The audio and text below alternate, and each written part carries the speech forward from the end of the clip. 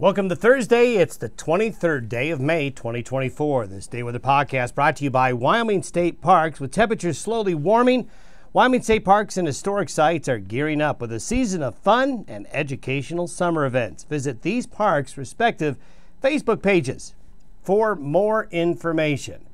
It's another day and it's another Pacific cold front coming across the region. It's very easily seen, as you'll see in a moment here on the satellite imagery, the Pacific continues to push these systems out and they keep going over the same places.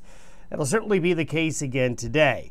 Heads up, I'm afraid to say we'll have about 24 hours of some pretty gusty winds over a large part of this region. Now, they're not going to last more than today.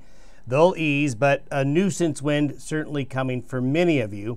There's going to be the usual pattern of showers and thunderstorms and some high country snow underneath and just to the northern areas of the track of this low. So that will be up north again. So Montana, northern and western Wyoming, into the Dakotas, you're looking at the best chance of getting consistent and most widespread rain. Now, on the southern tail of this system, later this afternoon and evening, there will be a few thunderstorms. Not a lot of them, but a few over portions of southeastern Wyoming, western Nebraska, and eastern Colorado. Not a lot, but a few, so they could pop up.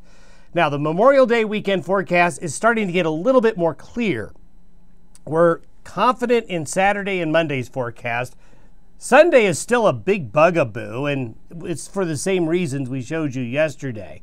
Hopefully, tomorrow we'll be able to nail down Sunday, but there's just enough of a question mark on Sunday's forecast. It could really have a big bearing on what the weather's like for Sunday, especially for outdoor activities. Nice warming trends coming next week. Next week and beyond, I think we're basically starting ourselves into an early summer pattern. There'll still be ups and downs, but we're getting there, folks. And next week, you're really going to see those warmer temperatures. In fact, on Monday, you're going to see those temperatures really warm up. Well, where's the front? Pretty easy to find it this morning. You can see the low pressure, the frontal boundary right here in the upper level low, swirling over far eastern areas of Idaho. The system is going to take the track that they've been taking, just kind of like this, then up into the northern plain states. So this will likely tomorrow and later on cause more severe weather in the upper Midwest, while as it comes through here, we're going to see the showers and thunderstorms and the wind come on through. So here it is, coming through later today, moving fairly quickly. This is where you get wind on the southern end of the low and the precipitation on the north side. This is where we're going to be with moisture today and tomorrow. So the heaviest, most consistent moisture goes right across southern Montana, far northern Wyoming, and then up into North Dakota. That's where the most consistent moisture is going to be. Scattered areas of showers and thunderstorms will break out this afternoon and evening here. Now, it doesn't look like a lot on the modeling here, but there will be some pockets of heavier showers and thunderstorms along that boundary. So that'll be something to kind of keep an eye on. But we're also looking at wind. These are the wind gusts between now and tomorrow. So the I 25 and I 80 corridor areas in Wyoming, the Northeast Plains, up around the Black Hills, you can see the Dakotas and southeastern Montana but also eastern Colorado, western Kansas, down in the panhandles. Now, these are not terribly awful winds by our standards, but they're going to be strong and they're going to be gusty nonetheless. This is for Saturday. It just keeps reloading this pattern. So, the Saturday morning low pressure system is quite similar to where we're going to be today. But this system is actually going to maybe take a little bit more of a curve south so that's going to bring the chances of rain a little bit further south. So as we enter the three day weekend, we have another system. There's a gap Friday. Friday is a gap day, kind of like what we had yesterday. Then we have this next system Saturday. This is likely going to produce showers and thunderstorms, and they're going to develop a little bit further south and east than the last couple of these systems. Temperature wise, Saturday, not bad. A lot of 50s and 60s over the higher elevations. 60s out onto the plains with some lower 70s. The real heat down in Texas, eastern New Mexico, getting into southeast Colorado here. Some heat building up along and south of I 70. More moderate temperatures north of I 70 and across even into the Great Basin states. Temperatures really not all that terribly warm Saturday. Those, that's how Saturday looks. This is what Saturday looks like with the chance of showers and thunderstorms. Looks similar to the map we showed you yesterday. All across the region, there's going to be scattered showers and thunderstorms, and they could be around as early as Saturday morning in some locations. So Saturday's a day you want to plan on at least the chance for some scattered shower and thunderstorm activity.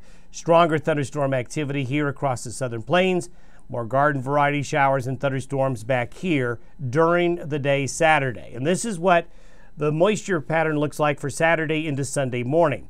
You can see there's a little tail here of some heavier moisture, a little bit more in the way of consistent showers and thunderstorms over east central Utah in the northwest Colorado and the I 80 corridor Wyoming.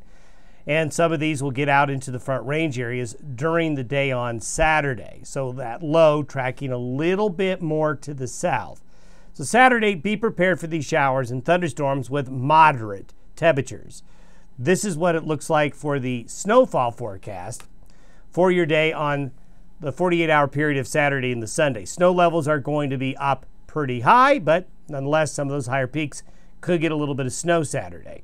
Then, here we go again with the enigma of Sunday. So, I'm going to do what I did yesterday step you through the different scenarios. This is the European model. It has more of a diffuse low pattern. It's kind of got the center of the low over eastern areas of North Dakota there, but there's a little bit of there's a little ripple here, there's another little ripple here. There's it's kind of a fragmented pattern of upper level areas of low pressure. And again, this is what it showed yesterday. Things are going to be more to the north and east on Sunday if this solution ends up being okay, which means this area here can end up with a pretty nice Sunday. Up here, the weather will be more unsettled, cooler, and damp. That's the European model. This is what the European model shows for high temperatures on Sunday.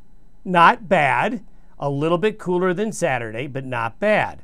This is what the precipitation looks like for Sunday. Again, staying more up into southern Canada, the Dakotas, northern and northeastern Wyoming getting clipped with some showers and thunderstorms, but the rest of Wyoming, Colorado, back into Utah, the weather looks fair.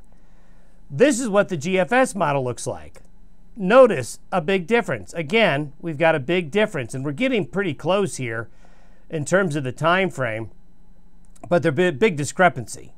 This is kind of like what we saw yesterday. This would bring the rain chances and the cooler weather much further west and south for Sunday. Look at the temperature difference. There's a good 10 degree difference in temperatures Sunday between the two different solutions. Quite a bit of difference. Not terribly cold, but Sunday kind of cool and unsettled. And this is what the precipitation forecast looks like on the GFS model, a lot further west and a lot further south. This is why I'm very reluctant to buy into this much nicer solution here. So we still have this. Now we talked about AI. What does the AI model look like? Well, let's take a look. Here's the AI model. Well, it's somewhat similar. Again, this is the European model. The European deterministic model has the low here, but it's got a stronger low back here, which is kind of a hybrid between this model here and the first one we showed you right here. I will tell you that a lot of times what ends up happening in reality are these hybrid solutions where not one model gets it absolutely correct but kind of if you mix the models in a pot and stir it, sometimes you get a solution that ends up being closer to reality. So perhaps the AI solution is recognizing that this solution isn't correct, neither is this one, maybe a combination of the two, and we may end up seeing the system here. So the end result is, is that uh, the AI solution is cooler than the European solution, and the GFS solution and the AI solution are closer together. So we'll see what happens tomorrow. So Sunday is the day I'm not so sure of, obviously. This is the precipitation forecast on the AI model. So northern Wyoming, northeastern Wyoming, the mountain areas could still get into some showers. Now, where things get a little bit more clear is Monday. Look at these temperatures on Monday. By Monday, all the models have the low headed off this way and moving away, high pressure building in, and Memorial Day Monday looks to be warming up the chances of rain drop, and it looks like a really fine Memorial Day coming on up very comfortable temperatures and conditions. And that leads into Tuesday of next week. Nice broad area of high pressure moves in, and this is the warm up that I talked about coming for next week. Will these lows keep coming, or will this high here block them and allow us to get more into an early summer pattern? I think the high will probably win out next week and beyond, but there will be some fronts still trying to sneak through, but not of the magnitude that we've seen this week in the, pre- the previous weeks up till now. Have a good Thursday. We'll see you tomorrow. Hopefully, we'll have a better idea on what that Sunday will be like.